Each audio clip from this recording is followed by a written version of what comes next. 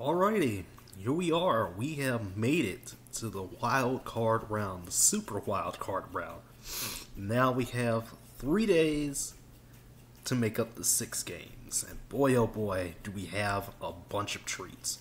Five rematches, five, you know, games that, you know, are really going to be great, and one, you know, game that's really going to be great as well, you know, for me as a Cowboys fan. We'll talk about the Cowboys in a minute. I don't want to. I don't want to be too biased here today.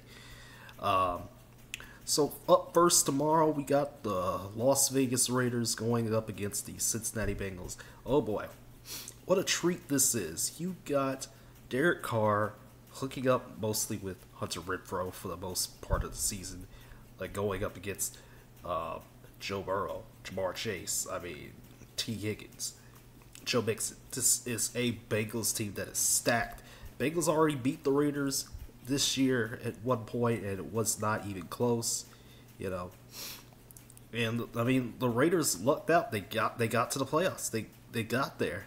They, they were able to make it. They won what they needed to do. They did what they needed to do, and they got there this year. They got there. They made it. They made it work. And I think the key to sustaining the Raiders' playoff chances is the defense. You know, we saw, you know, last week against the Chargers, we saw, you know, at times, you know, Raiders' defense just it could not contain Justin Herbert. It, it couldn't. It, you know, say what you will, you know, about the potential for a tie and everything like that. You can't. There's no ties here. If you win, you keep on going. If you lose, you're going home, going right to the couch. So, Raiders need to get it together. They need to get it together, keep things contained. Of course, you know, Cincinnati last week didn't really do too much. They they rested a bunch of their guys. You know, defense has been legitimate this year. A lot of people, you know, put this team off. Even I, you know, questioned them at one point. But here they are. They are, you know, the number they are the number three seed in the playoffs, number three seed, you know, and it's and it's good stuff here. I mean, they could potentially, you know, get maybe one, maybe two home games. They already got one, so they could get another, you know, next week if that happens. I mean, again, this Bengals team has just superseded those expectations they had because you know, I mean, a lot of people were like, oh well, you know, this is, this team ain't gonna do nothing, you know, with Joe Burrow you know, at the helm. You know, I mean, sure he's back, but I mean, the year these two have had, I mean, especially Burrow and Chase, the year these two have had have been on point this year. Just an absolutely stupendous season by the Bengals. Can they keep this up though against the Raiders? We'll find out Saturday afternoon. And then Saturday night, we got round three, Patri- Patriots Bills. Excuse me. Um, so it's going to be Mac Jones versus Josh Allen, basically. Like, Josh Allen is the Bills' entire offense at this point. Just extremely one dimensional. I mean, we've seen it throughout the entire season. We've seen some inexplicable nonsense for the Bills, too. So, you know, again, th- this is the same Bills team that lost to the Jaguars and lost to the Patriots with only three passes thrown by Mac Jones. So, I don't know if the conditions are going to be like that this time up in Buffalo, but I mean, this time around, um, you know, the Patriots, you know, they're they're looking hungry. You know, Mac Jones, you know, rookie quarterback, he, he's looking to prove himself in the playoffs, and Coach Belichick, he's still he's still coaching at a high level. And the Patriots defense is on point this year. It's been on point all season long but it especially has been on point these past two months or so. I mean, a lot of people put the Patriots dead in the water at one point, you know, because I mean they didn't have the greatest start either. But I mean they they started rolling, and once they started rolling, they never looked back.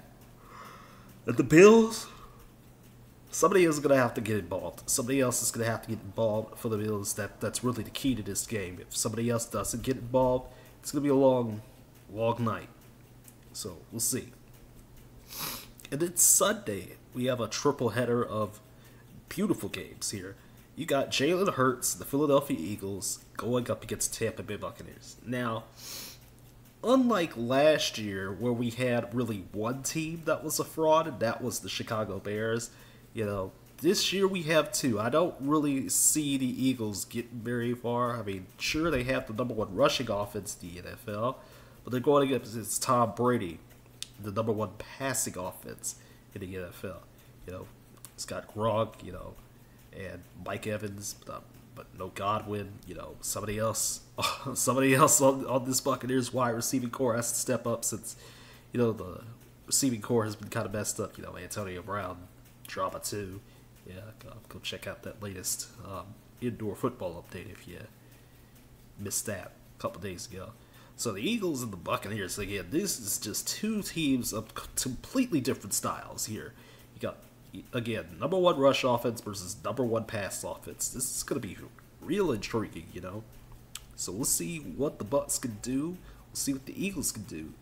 Uh, I'm not. I'm not confident on the Eagles though. I mean, again, you know, the Eagles they didn't look sure they had their second stringers out, but the first time, you know, I mean, uh, I mean, the last couple times they played, you know, you know, top tier teams, they haven't fared too well. I mean, again, the Bucks already beat the Eagles at one point this season. It, it was close game though, but it was a close game. But that was early in the season. This is January football now.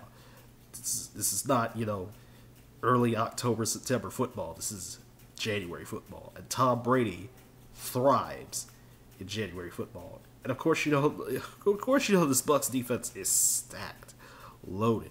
JPP, Vita Vea. I mean, just, I mean, there's just guys. This whole entire defense, you know, despite the fact that it's been injured to hell and back throughout the season, and it, and the cornerbacks issue has been a thing all season long, in my opinion.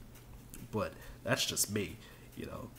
But the Bucks held serve. That's why they got the number two seed in the NFC. That's why they got the number two seed. They held serve. They did what they needed to do, which was win, win, win.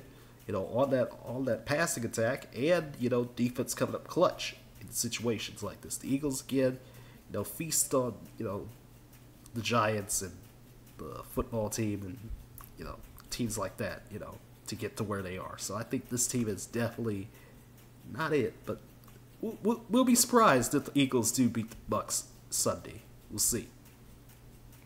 And then, you know, an old, old rivalry gets renewed in the playoffs. Oh boy, Jimmy Garoppolo and the 49ers come to Big D to take on Dak, Zeke, and the Cowboys. Oh boy, this is gonna be this is gonna be one hell of a matchup. I'll tell you that right right now. I'll tell you that right now.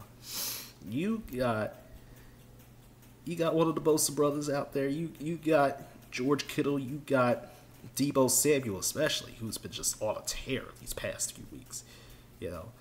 And the Cowboys' defenses, that they are no slouch anymore. This is not the worst rated defense in the NFL anymore. No, no, no, no, no. Trevon Diggs, Micah Parsons, Randy Gregory. I mean, this is a stacked, you know, Cowboys unit, a stacked 49ers unit, especially on defense, too. You know, just a solid bunch. The real question is, is can the Cowboys get out of their rut yeah, you, you beat the Eagles with 50 points, but this is the second string Eagles. You, you can't do that the playoffs. There's no second stringers playing. I'm sorry, Dak. I'm sorry, Coach McCarthy. There's no there's no second stringers playing. I'm sorry. And the 49ers, I think the real question here is Jimmy Garoppolo. That, that's really the only question, you know. Can Jimmy Garoppolo do it? I mean, he's serviceable, but can he you know, get back to that Super Bowl, you know, run that he had, you know, a couple just a couple years ago. I mean, this is just a couple years ago. The 49ers were in the Super Bowl. Remember that. Uh, this is going to be real intriguing. If you're watching on Nickelodeon, good luck to you. Good luck to you. Who, whoever gets the slime MVP, uh, let me know. Let me know. let me know, man. Let me know, because I'm gonna I'm gonna be, you know I, I might honestly just look at that Nickelodeon telecast just cause. But you know, the slime game, yeah, we get that. That is that is good stuff. The real fraud here, as we shift over into late Sunday night, oh boy, Steelers. I, I don't know how the Pittsburgh Steelers got to this point with Big Ben. You know, an aging Big Ben, a offensive line that you know is just I I I can't I, I can't get, I can't seem to understand why. You know, defense not that great either. I mean, you got you got T.J. Watt, that's about it. You know, that's about it. You know, Steelers fans, where you at? I, I, I know I know we're I know we're gonna get guys like you know, you Trier or Tristan Adonis, you know, all up on here, you know, talking about Steelers going to the Super Bowl based off of luck and stuff like that. But honestly, I just don't see the Steelers getting very far. Again, this is another, this is the other team that I don't think is getting very far. Again, this I, I just don't see this team, you know, especially with the Chiefs whipped them last month, and I mean that was one of the worst games I've seen in my entire life, you know, involving the Steelers. I mean, I've seen some Steeler beatdowns, but this one, this one was bad. And we all know the Chiefs story by now. The Chiefs with Patrick Mahomes under center, a a team that was lost, you know, the first two months of the season. They were like what three and four at one point, and here they come, you know, running into the postseason. We're talking running into the postseason on a winning streak with an offense that's got it together with Tyreek Hill, Travis Kelce. I mean, there, there's just so many weapons. You know, Mecole Hardman. I mean, again, this is just a stacked Chiefs offense. Of course, you know, the defense is also stacked as well. I mean, this is a Chiefs unit. You know, with you know, sure we like to, sure we like to joke about Dirty Dan Sorensen sometimes. You know, Tyrann Mathieu as well, the Honey Badger, Frank Clark. I mean, this is just a Chiefs Chiefs defense that is legitimate. They they could get it done. You know, they just didn't get it together the first couple weeks, and that was the problem. But they got it together. They finally got it together, and it's working at the right time. Again, the Chiefs are looking to become the new Patriots, the kings of January football, and they could continue that if they beat the Steelers Sunday night. And then Monday night, round three of Cardinals Rams. Now Whew, this was this was an interest. This is an interesting one because you got Cliff Kingsbury going up against Sean McVay. You got Matthew Stafford, who's been inconsistent the past few weeks, going up against Kyler Murray, who's also been inconsistent the last few weeks. A couple, you know, there's been a couple games here and there, you know, where, you know, Murray's played serviceable, you know, pretty well against my Dallas Cowboys, especially. Uh, but other times, not so much. You know, getting blown up by the Lions. That that is a big one. Um, J.J. Watt could be coming back, so you know we could be seeing both the Watt brothers, you know, this weekend, and we'll we'll see we'll see, you know how that goes. I believe he might be coming back. I'm not sure yet. We'll talk about all that, you know, once we get to the recap on Monday night. The Rams, on the other hand, they got they got they they have all they've added pieces. They've added pieces. The problem is just you know what is Matthew Stafford going to do? I think I think we've all been thinking that throughout the week. I know you know, you see the other videos and stuff like that, you know, what is Matthew Stafford going to do? Because I mean, he's thrown some baffling interceptions that I'm just, I, I, my mouth was just wide open at some of these interceptions that he's thrown over the past few weeks. My, my like that pick six a couple weeks ago, I was just like, I was just like, what? How? How?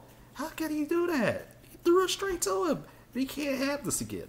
And we all know the Rams, you know, they got talent all over the place. I mean, Van Jefferson's been doing things. Cooper Kupp is number one, you know, and, you know, like, he, he's got what? Damn near 2,000 yards receiving, over 100 catches, over 10 touchdowns. I mean, just unreal.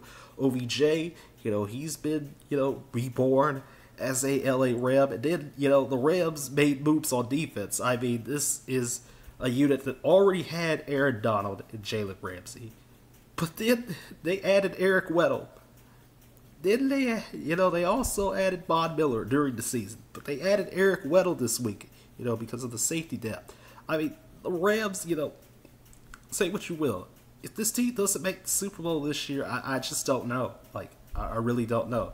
Like, this, this is a team that is definitely built for Super Bowl, but I think, you know, again, know, the same problems that plagued the Rams during the season, or at least the latter portion of the season, you know. You know, the, the real problem of the last portion of the season is Matthew Stafford throwing the picks and stuff like that. You can't be throwing the picks, brother.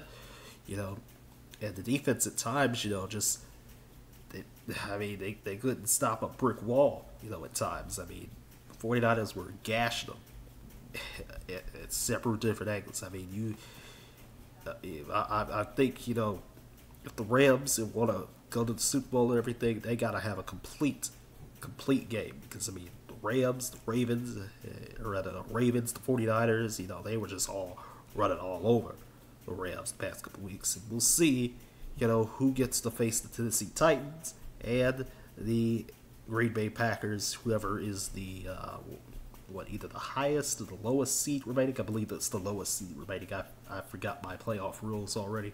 We're not going to really talk about Tennessee or Green Bay this week. We'll talk about them next week in the divisional round. So, you know, that is going to pretty much do it here. Uh, I hope y'all have a good rest of your night. We're going to get all out of here. We're going to skedaddle and we're going to talk about the NBA and then talk about college basketball and then come back Monday night talk about the wild card round, recap all that. So it's going to be a busy, busy weekend for you all. And continue to subscribe, continue to like, share, comment, subscribe, and do all that good stuff. You know, just keep on doing what you do, guys. You know, I really appreciate it. So I'll see you again. You know, very very soon with the NBA and college basketball, and then you know recapping the wild card, baby. See you soon.